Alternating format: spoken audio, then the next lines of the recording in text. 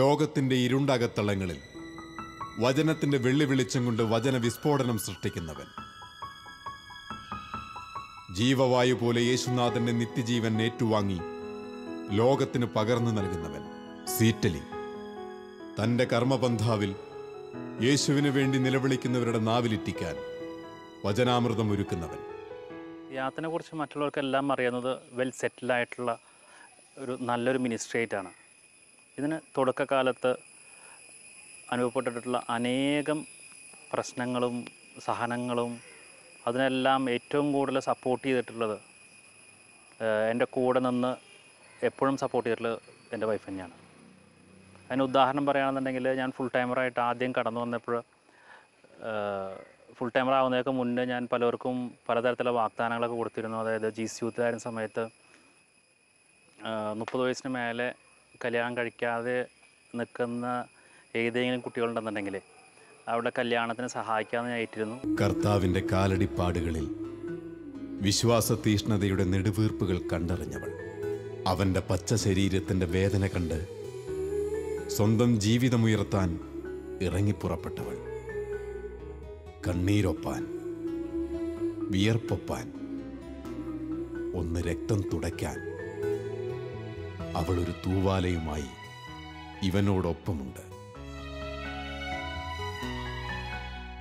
അന്ന് നാഥന്റെ കുരിശിന്റെ വഴിത്താരയിൽ പിന്തുടർന്ന വേറോനിക്ക ഇന്ന് ഈ വചനയാത്രയിൽ സീറ്റലയുടെ പിൻപന്ഥാവിൽ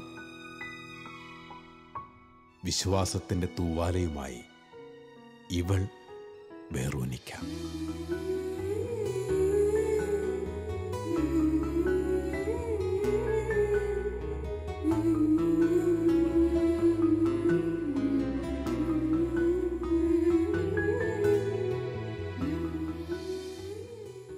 കുറേ കാലമായി നമ്മുടെ ഫിയാത് മഗസിൻ നടത്തുന്ന സീറ്റ്ലിയുടെ ഭാര്യ ഒന്ന് കാണാനും സംസാരിക്കാൻ ആഗ്രഹിച്ചിരിക്കുകയായിരുന്നു. ഇപ്പോഴാണ് എനിക്ക് അതിനൊരു അവസരവും സമയവും കിട്ടിയത്. സ്വീറ്റ്ലിയുടെ ഭാര്യ ബെറ്റ്സിയുടെ കുടുംബജീവിതത്തെക്കുറിച്ചൊക്കെ ഞങ്ങളോടൊന്ന് പങ്കുവയ്ക്കുമോ നാ- അഞ്ച് മക്കളാണ് ഞങ്ങൾക്ക് മൂത്ത കുട്ടി എലിസബത്ത് പതിനഞ്ച് വയസ്സ് രണ്ടാമത്തെ മോൻ മോൻ പതിമൂന്ന് വയസ്സ് പിന്നെ മോൻ പതിനൊന്ന് വയസ്സ് പിന്നെ നാല് വയസ്സാണ് മോൻ. താഴെയുള്ളതും ആൺകുട്ടി തന്നെ രണ്ട് വയസ്സ്. അഞ്ചു മക്കളാണുള്ളത്. അതെ അതെ. സ്വീറ്റ്ലി ഇപ്പോൾ എന്തൊക്കെയാണ് ശുശ്രൂഷകൾ ചെയ്യുന്നത്? ഫുൾ ടൈം സുവിശേഷം വിലക്ക് തന്നെയാണ് പോവാറ് ഇപ്പോൾ ജോലിക്കൊന്നും പോകുന്നില്ല. ഇല്ല ഇല്ല. ബെറ്റ്സിയെ കല്യാണം കഴിച്ചുകൊണ്ടിരുന്ന ആ കാലഘട്ടങ്ങളിൽ സ്വീറ്റ്ലി സുശേഷ പ്രഘോഷകനായിരുന്നു? അല്ലല്ല അന്ന് ആ സമയത്ത് ജീസസ് യൂത്തിന്റെ ആക്റ്റീവായിട്ട് നടക്കുമായിരുന്നു പിന്നെ ബിസിനസ്സും ഉണ്ടായിരുന്നു. അങ്ങനെയായിരുന്നു.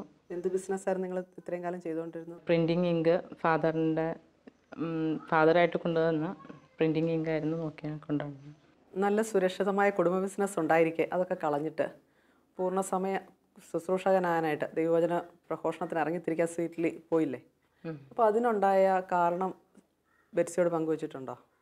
കല്യാണം കഴിഞ്ഞ സമയത്ത് പ്രെയർ ഗ്രൂപ്പിലൊക്കെ ആക്റ്റീവായിരുന്നു ജീസസ് യൂത്തിന്റെ അത് കഴിഞ്ഞ് അപ്പോൾ അവർക്കൊരു സെല്ല് ഉണ്ടായിരുന്നു പ്രയറിനൊക്കെ ആയിട്ട്. ആ ഒരു ഇതിൽ അതിന്റെ ഒരു വെളിച്ചത്തിൽ ഒരു ബോധ്യമൊക്കെ കിട്ടി. അങ്ങനെ ഫുൾ ടൈം സുവിശേഷകൾക്ക് ഇറങ്ങാൻ തീരുമാനിച്ചു.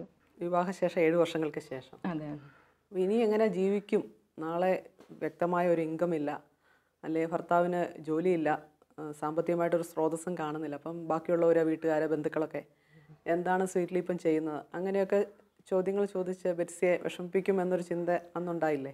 ഉവ്വ് ചോദിക്കുമ്പോൾ ആദ്യമൊക്കെ ഇങ്ങനെ ഇവിടെ ഫാദറിന് പല ബിസിനസ്സും ഉണ്ടായിരുന്നു. അപ്പോൾ ആ ബിസിനസ് ചെയ്യണു ഈ ബിസിനസ് ചെയ്യണു അങ്ങനെ പറഞ്ഞു. പിന്നെ എന്റെ ഫാ പാരൻസ് ഈ ഫാദർ ബാങ്കിൽ റിട്ടയർ ആയി കഴിഞ്ഞപ്പോൾ ആളും പ്രാർത്ഥനയും അങ്ങനെ ഒരു ആ ഇതിലേക്കാണ് ഇറങ്ങി തിരിച്ചത്. അപ്പോൾ കഴിഞ്ഞപ്പോൾ കുറച്ച് നാൾ കഴിഞ്ഞപ്പോൾ ഞാനും പാരൻസിനോട് പറഞ്ഞു തുടങ്ങി ചേട്ടനും അങ്ങനെ ഒരു ഇതിലേക്കാണ് പോണത്. മുഴുവൻ സമയം ആൾക്ക് ഇരിക്കാനാണ് ദൈവവലിക്കുക ചെയ്യാനാണ് ആൾക്ക് താല്പര്യം. അങ്ങനെ ഇപ്പോൾ അവരും അതിലേക്ക് ഒരു മനസ്സിലാക്കി തുടങ്ങി.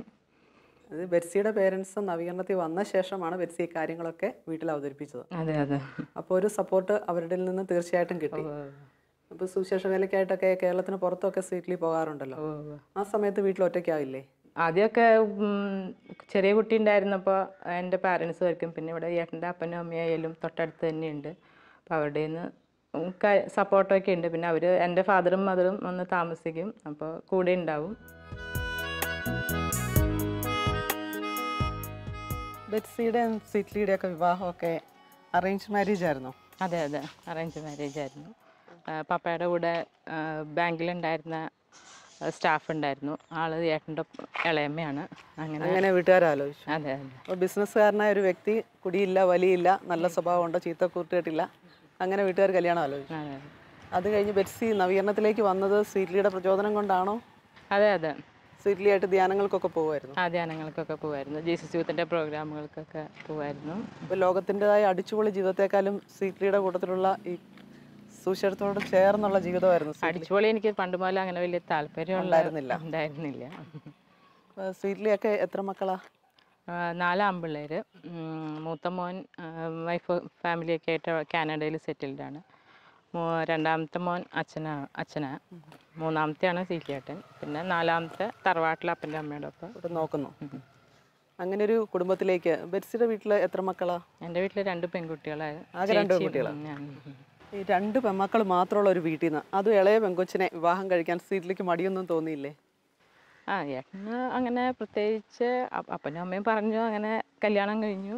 അപ്പം ഏട്ടന്റെ ആഗ്രഹം കൂടുതൽ ആങ്ങളമാർ അങ്ങനെയുള്ളവർ വീട്ടിൽ നിന്ന് കൊണ്ടുവന്ന് ബിസിനസ്സിലൊക്കെ സഹായിക്കണമെന്നായിരുന്നു ആഗ്രഹം. പിന്നെ തമ്പുരാന്റെ പ്ലാൻ അല്ലേന്ന് വെച്ച് അങ്ങനെ കല്യാണം കഴിഞ്ഞു. ഇപ്പോൾ അവർ എന്നെ ഏട്ടൻ മിഷൻ പ്രവർത്തനത്തിനൊക്കെ പോകുമ്പോൾ സഹായിക്കാൻ അവർ വന്ന് അവരിങ്ങോട്ട് വന്ന് നിൽക്കേണ്ട ഒരു സ്ഥിതിയാണ്. സ്ഥിതിയാണ് ഇപ്പം. രണ്ട് പെമ്മക്കൾ മാത്രമുള്ള ഒരു വീട്ടിൽ നിന്ന് അത് ഇളയ പെങ്കൊച്ചിനെ. സ്വീറ്റ്ലി വിവാഹം ചെയ്യാൻ തീരുമാനിച്ചപ്പോൾ സ്വീറ്റ്ലിയുടെ പേരൻസും പൂർണമായിട്ട് സപ്പോർട്ട് ചെയ്തോ? ഉവ്വ് ഉവ്വ്. അവരും സപ്പോർട്ട് ചെയ്തിട്ടുണ്ട്. അവർക്കും പ്രത്യേകിച്ച് കുഴപ്പമൊന്നും തോന്നിയില്ല. അല്ലല്ലോ കുഴപ്പമൊന്നും തോന്നി ഇപ്പം പല പേരൻസും കാണിക്കുന്ന നേരെ തിരിച്ചാണ്. രണ്ട് പെമ്മക്കളുള്ള ഒരു കുടുംബത്തിലെ ഇളയ പെൺകുട്ടിയുടെ വിവാഹം നടക്കാൻ താമസിക്കുന്നു. അല്ലെങ്കിൽ അവരെ ദത്ത് നിർത്തണമല്ലോ എന്ന് പേടിച്ച് പല പേരൻസും മക്കളെ അങ്ങനെ ഒരു കുടുംബത്തിലേക്ക് വിവാഹം ചെയ്തയക്കാൻ താല്പര്യപ്പെടുന്നില്ല. ആ ഒരു സാഹചര്യത്തിൽ ഇത് ദൈവത്തിന്റെ പദ്ധതിയാന്ന് തന്നെ നമുക്ക് തീർച്ചയായിട്ടും മനസ്സിലാക്കാൻ പറ്റും. ഇപ്പം പേരൻസൊക്കെ ബെറ്റ്സിയുടെ കൂടെയാണോ താമസിക്കുന്നത്? ആ ഏട്ടൻ മിഷൻ പ്രവർത്തനത്തിന് പോകുമ്പോൾ അവർ വന്ന് കൂടെ താമസിക്കും. മമ്മിക്ക് എന്റെ ഡാഡിക്കും മമ്മിക്ക് ഇവിടെ നാല് ആൺകുട്ടികളുള്ള കാരണം ഒരു മോനെ അങ്ങോട്ട് സഹായത്തിനൊക്കെ കിട്ടുമെന്ന് വിചാരിച്ചാൽ ഇപ്പോൾ അവർക്ക് ഇവിടെ വന്ന് താമസിക്കുന്നുണ്ട് അവർ നമ്മളെ സഹായിക്കുന്ന ഒരു അവസ്ഥയിലേക്ക് അതും കർത്താവിന്റെ ഒരു പരിപാലന തന്നെയാണ്. പേരൻസ് അടുത്തുള്ളതുകൊണ്ട് സീറ്റിലേക്കാണേലും മിഷൻ പ്രവർത്തനത്തിന് പോകുമ്പോൾ അധികം ടെൻഷൻ വീട്ടിലെ കാര്യങ്ങൾ ഇവിടെ വീട് വീലിയേട്ടന്റെ വീട് തന്നെയായാലും ഇവിടെ തൊട്ടടുത്ത് തന്നെയാണ്. അമ്മ അമ്മയപ്പനൊക്കെ എല്ലാത്തിനും സപ്പോർട്ടാണ്. ആദ്യമൊക്കെ അവർക്ക് അത്ര അങ്ങോട്ട് വിഷമമൊക്കെ ഉണ്ടായിരുന്നു. ഇപ്പോൾ കുറച്ചും കൂടിയൊക്കെ മാറ്റം വന്നു. ഭർത്താവ് സുശേഷ പ്രഘോഷകനാണ്. അപ്പോൾ വീട്ടിലൊന്നും മിക്ക സമയത്തും ഉണ്ടാകുകയില്ല. ഇങ്ങനെയൊക്കെ പറഞ്ഞ ആൾക്കാരും ബന്ധുക്കളും ഒക്കെ ബെറ്റ്സിയെ ചോദ്യം ചെയ്തൊക്കെ വിഷമിപ്പിക്കാറുണ്ടോ? ഓ ആദ്യമൊക്കെ അങ്ങനെ ചോദ്യങ്ങൾ വരുമായിരുന്നു.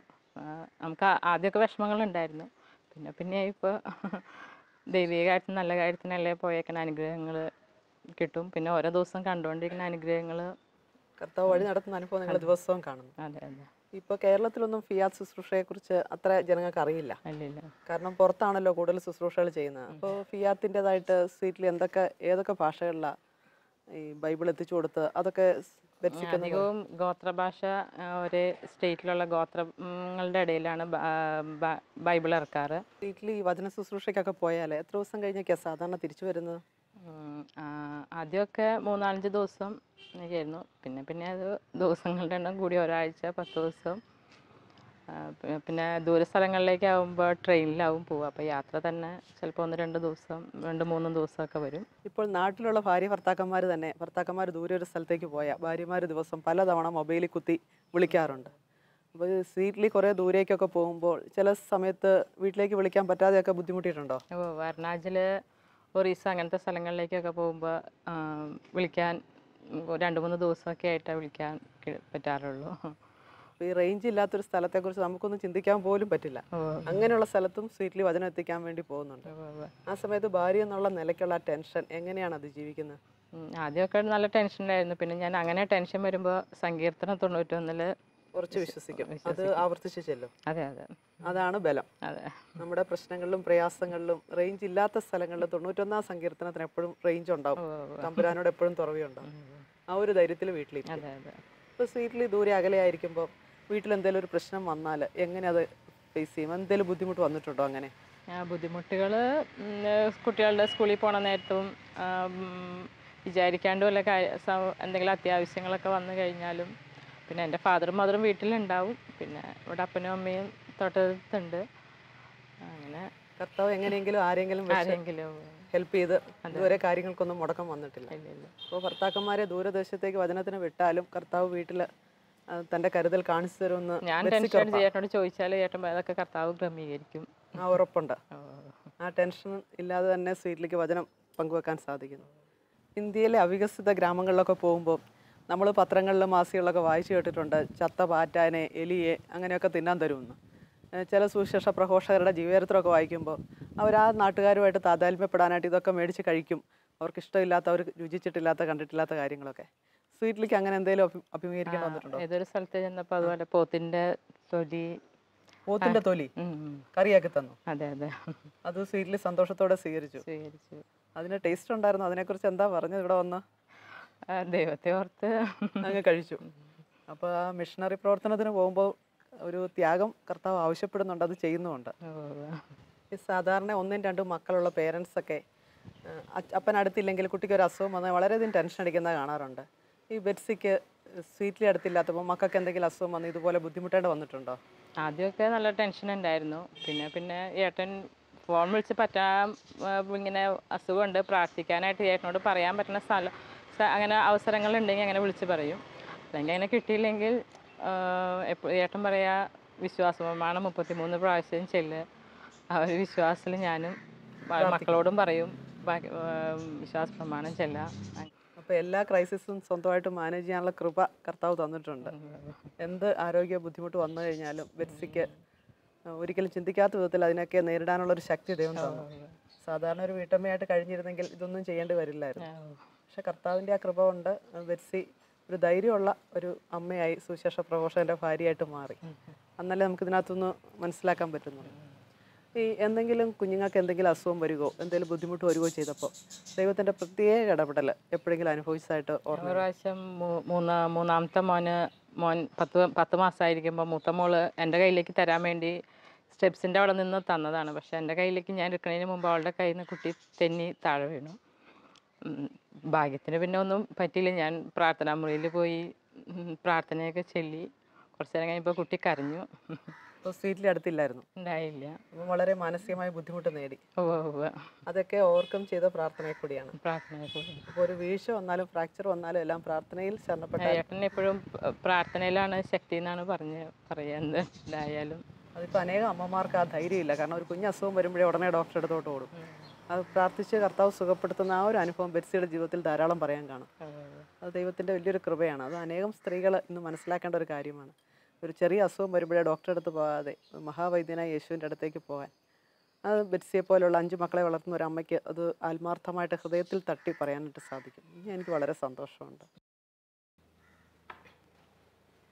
ബെറ്റ്സി ഭർത്താവ് സുശേഷ വേലയൊക്കെ പോകുമ്പോൾ മക്കളുടെ ആത്മീയ കാര്യങ്ങളിൽ എങ്ങനെയൊക്കെ ഇൻവോൾവ് ചെയ്യാൻ സാധിക്കുന്നുണ്ട്? കുർബാനയ്ക്ക് മുടങ്ങാണ്ട് മൂന്ന് പേരെയും രാവിലെ വിടും. വിടും. പിന്നെ വൈകുന്നേരം പിന്നെ അവർ സ്കൂളിൽ പോകും സ്കൂളിൽ പോകുമ്പോൾ പ്രാർത്ഥന ചെല്ലും. പിന്നെ വൈകുന്നേരം കുടുംബ പ്രാർത്ഥന മുടങ്ങാണ്ട് ചലിക്കും പിന്നെ കാറ്റീസം ഞായറാഴ്ച ഉള്ളത് മുടക്കാൻ വരുത്താറില്ല. പിന്നെ യൂണിറ്റുകളിൽ പ്രാർത്ഥന അങ്ങനെയൊക്കെ ഉണ്ടാകുമ്പോൾ അതൊക്കെ മക്കളും പോകും മക്കൾ സ്വന്തമായിട്ട് എന്തെങ്കിലും ഇവാഞ്ചലൈസേഷൻ പ്രവർത്തനങ്ങൾ ചെയ്യാറുണ്ടോ? ആ രണ്ടാമത്തെ മോൻ സ്കൂളിൽ പഠിക്കും സ്കൂളിൽ പോകുമ്പോൾ ഈ ഫിയാത്ത് മാഗസിൻ അവിടെ ടീച്ചർക്കും ക്ലാസ്സിലൊക്കെ ഇടയ്ക്ക് വിതരണം ചെയ്യും. അപ്പോൾ മക്കളും അവരാൽ പറ്റുന്ന വിധത്തിൽ വചനം പ്രഘോഷിക്കാൻ ശ്രമിക്കുന്നുണ്ട്. ബെറ്റ്സി മക്കൾക്ക് ആർക്കെങ്കിലും യേശുവിന് വേണ്ടി തന്നെ ജീവിക്കണം അങ്ങനെ ഒരു ആഗ്രഹമുണ്ടോ മനസ്സിൽ മൂത്ത മോൾക്ക് മൂത്ത മോൾ ജനിച്ച രണ്ടായിരത്തിലാണ്. അപ്പോൾ കോട്ടയം ക്രിസ്ത്യനിലെ രണ്ടായിരത്തിൽ ജനിച്ച കുട്ടികൾക്ക് എല്ലാ വർഷവും ഒരു ഗ്യാതറിങ് പോലെ ഒരു പ്രോഗ്രാം ഉണ്ട്. അപ്പോൾ അതിന് മുടങ്ങാണ്ട് വിടും. പിന്നെ മൂത്ത മോൻ ഇങ്ങനെ അച്ഛനാവാൻ പോകണമെന്ന് ഇങ്ങനെ ഒരു ആഗ്രഹം ആഗ്രഹം അങ്ങനെ പറയുന്നുണ്ട്. അത് നിങ്ങൾ പ്രോത്സാഹിപ്പിക്കുന്നുണ്ടോ? ആ ഉവ്വ ഉവ്വ. ഈ അഞ്ച് മക്കളെ രാവിലെ ഒറ്റയ്ക്ക് സ്കൂളിൽ റെഡിയാക്കി വിടുക. ഒരു സാഹസം തന്നെയല്ലേ? അത് എങ്ങനെ സാധിക്കും? മൂത്ത മൂന്ന് കുട്ടികളും വലുതായി. അപ്പോൾ അവർ തന്നെ അവരുടെ കാര്യങ്ങൾ ചെയ്തോളും. പിന്നെ താഴെയുള്ള മോൻ സ്കൂളിലേക്ക് പോവാർ ആവണുള്ളൂ. അപ്പോൾ അവന് കുറച്ചൊക്കെ സഹായിക്കണം. അവന് കുറച്ച് ലേറ്റ് ആയിട്ടാണ് പോവാറ്. മൂന്ന് മൂത്ത് കുട്ടികൾ പോയി കഴിയുമ്പോൾ കുറച്ച് നേരം ഒരു ഗ്യാപ്പ് ഉണ്ട്. ആ നേരത്ത് അപ്പോൾ ആ നേരത്താവും ചിലപ്പോൾ ഇളയവും ചിലപ്പോൾ അവന്റെ കുറച്ച് വാശികളും കാര്യങ്ങളൊക്കെ എന്നാലും കർത്താവ് ക്രമീകരിച്ച് കൊണ്ടുപോകും. ഇത്രയും മക്കളെ സ്വീകരിക്കാനായിട്ടുള്ള ഒരു പ്രചോദനം എന്തായിരുന്നു? എനിക്കങ്ങനെ പ്രത്യേകിച്ച് അങ്ങനെ കൂടുതൽ മക്കൾ വേണമെന്ന് അങ്ങനെ ഒരു ഇതുണ്ടായിരുന്നില്ല. പിന്നെ വീട്ടിലേട്ടൻ പറഞ്ഞു പറഞ്ഞ് അങ്ങനെ ഒരു അനുഗ്രഹം കിട്ടും. അങ്ങനെയൊക്കെ അതിന്റെ ഒരു കുട്ടികൾ തമ്മിലാവുമ്പോൾ വളരെ അധികം മക്കളുണ്ടെങ്കിൽ അങ്ങോട്ടും ഇങ്ങോട്ടും എല്ലാ കാര്യവും ഷെയർ ചെയ്യും. എല്ലാ കാര്യവും അങ്ങനെ പറഞ്ഞു പറഞ്ഞ് ഞാനും അതിന് മുന്നിലേക്ക്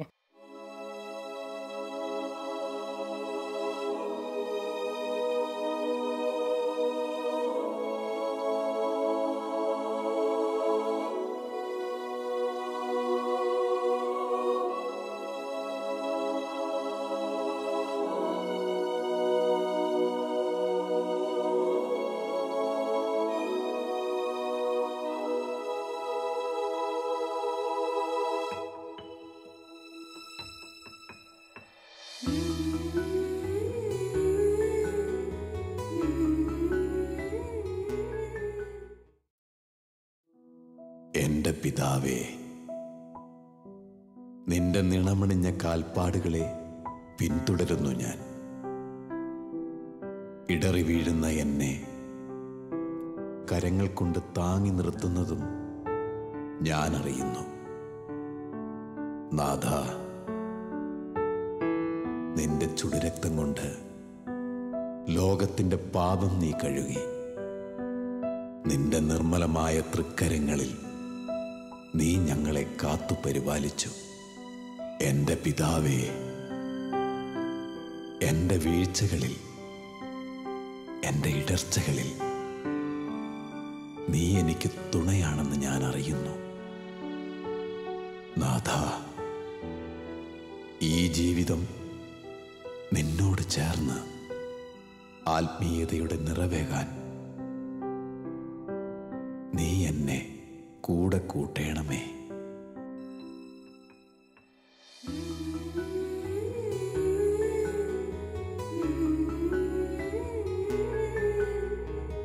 Mm-hmm.